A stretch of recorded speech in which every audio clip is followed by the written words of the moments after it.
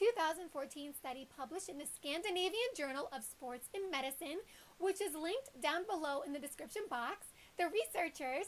found that 80% of heel strike runners who switched from running in the traditional running shoe to running in the Vibram Five Fingers, which are a completely flat zero drop minimalist running shoe that to some degree mimics barefoot conditions, the runners converted their heel strike landing pattern to a forefoot strike landing pattern when these runners ran in the Vibram Five Fingers suggesting that a foot strike transformation or a footstep configuration switch may occur when you go from running in cushion heeled running shoes to running in flatter, non cushion heeled, barefoot mimicking, minimalistic like running shoes, whereby even the smallest heel elevation of a running shoe may be enough to offset your forefoot strike landing strategy, it may be a deterrent to enable you to effectively land on the forefoot during running, especially if you are a new runner or a runner who is transitioning from heel strike running to forefoot strike running.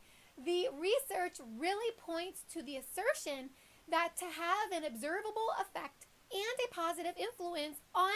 foot strike landing mechanics during running, that is to ensure a more optimally precise low impact forefoot strike landing pattern, you may really want to run in a flatter running shoe or run barefoot. That way there is very minimal mechanical interference, particularly under the heel. And of course, the findings from the study strongly meshes with findings from other studies on foot strike pattern mechanics, which have found that in habitually shod runners who ran barefoot for the first time, the runners tended to move away from heel striking to landing more forefooted, whereby the changes in foot strike pattern may be part of the amplification of continuous quantities of sensory feedback or tactile stimulation that surges through the feet when you run barefoot. And it's this kind of sensory input at the feet that remains one of the most important aspects that drives a barefoot runner to avoid heel striking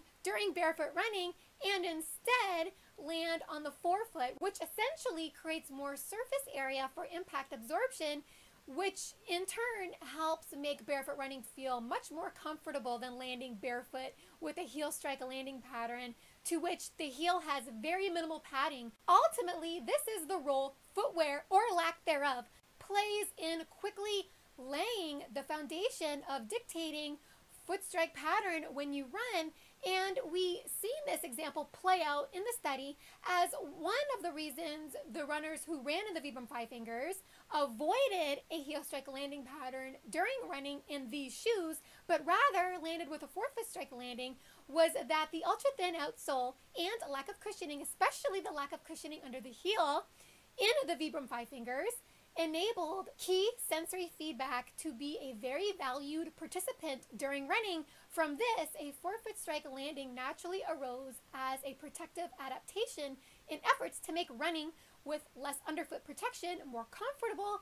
because the forefoot naturally acts as a better shock pad than the heel during running. A forefoot strike landing pattern is also a study proven mechanical strategy to help decrease overall impact loading on the body which may make forefoot running a very vital asset to achieving long-term injury prevention and good performance progress via reducing the likelihood of repetitive stress injury as an endurance runner. It's becoming more and more apparent that a runner can run more smoothly without strife with forefoot running. Not to mention, we are born to run, but not with our heels continuously held up off the ground as they are in most traditional running shoes. And this is the key concept that always seems to go dramatically underappreciated. Our ancestors evolved the same way without their heels elevated off the ground. Therefore, it's safe to make the case that the traditional running shoe, with its padded stacked cushion heel,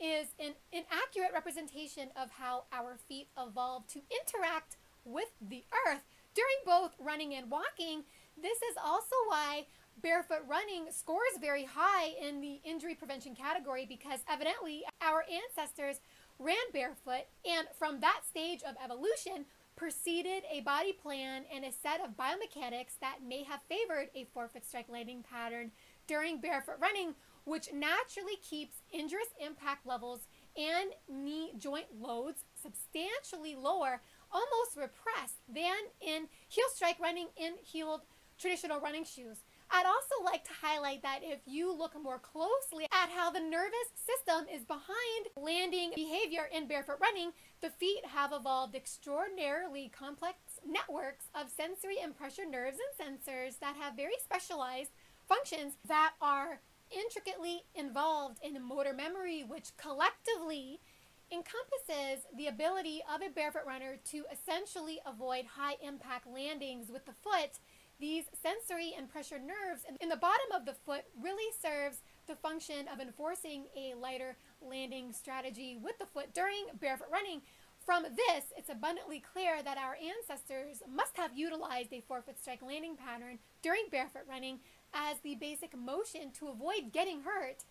because a forefoot strike landing pattern is the striking feature of barefoot running that abolishes much of the impact variables implicated in causing most running related injuries. Experts now view forefoot running as a very relevant strategy to potentially help prevent many forms of running related injuries, as forefoot running really seems to have more benefits than more drawbacks. So the take home message from all this is that it's important that if you don't want to run barefoot, at least try to run in a running shoe that helps keep the forefoot strike potential very high. If you're accustomed to heel striking during running, running in thinner, flatter, and remember, shoe flatness is very key. More barefoot feeling running shoes may help create a more receptive environment for the sensory and pressure nerves that line the bottom of the bare foot giving you the natural tendency to want to avoid heel striking during running on the basis of heel striking becomes less alluring when you have less padding under the foot. Barefoot like minimalist running shoes may certainly help push all the mechanical pieces together to correct and effectively help fix your heel strike running pattern and help push you and encourage you to land more towards the front part of your foot which will help put you out of harm's way because impact forces are greatly diminished and reduced. And from this perspective, it's easy to see why I bring up barefoot running a lot because I think it's an important call to action for many runners in helping to improve your forefoot strike efforts to where it really needs to be since the development of a safely guided forefoot strike landing pattern during running